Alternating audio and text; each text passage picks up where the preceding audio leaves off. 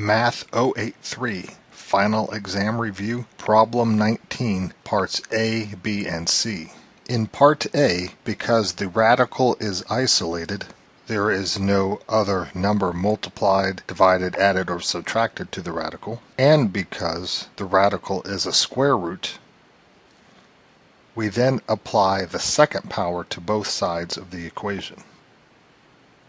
On the left-hand side we get 4x plus 1. On the right hand side we get 25. Subtracting 1 from both sides we have 4x equals 24 and dividing both sides by 4 we get x equals 6.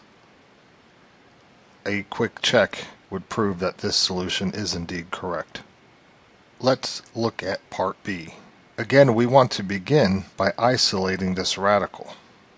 On its side of the equation there is a positive 7 added to it, so our first step will be to subtract 7 from both sides of this equation. On the left hand side of the equation the radical is now isolated. Since the radical is a cube root we will apply the third power to both sides of the equation. Cubing a cube root gives us the radicand, the stuff inside the radical, 3y plus 10, on the right hand side, negative 2 times negative 2 times negative 2 is negative 8.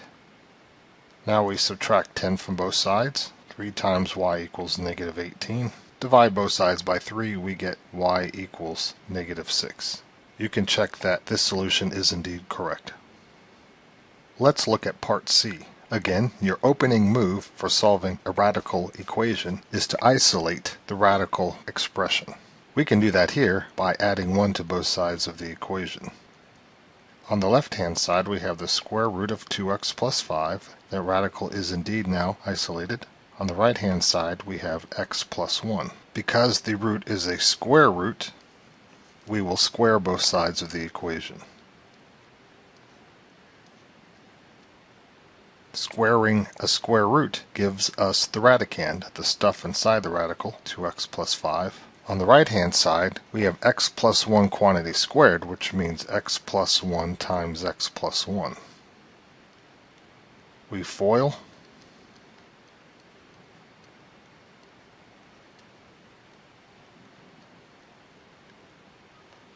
We gather like terms. The presence of this x squared, being the highest power of x, means that this is a quadratic equation, and we must solve the equation now through one of our quadratic equation solving methods. We will get 0 by pushing the terms to the side of the equation where the x squared is. We will subtract 2x, subtract 2x, subtract 5, subtract 5. We do indeed now have 0 on the left hand side of the equation. On the right hand side, these two terms coincidentally added to 0, and we have x squared minus 4. The right-hand side factors as x plus 2 times x minus 2. We set x plus 2 equal to 0, and we set x minus 2 equal to 0.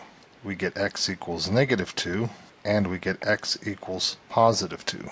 Now we need to check these, and I will leave that to you. As it turns out, x equals 2 does check in the original equation, but x equals negative 2 does not. So there is only one solution, x equals 2.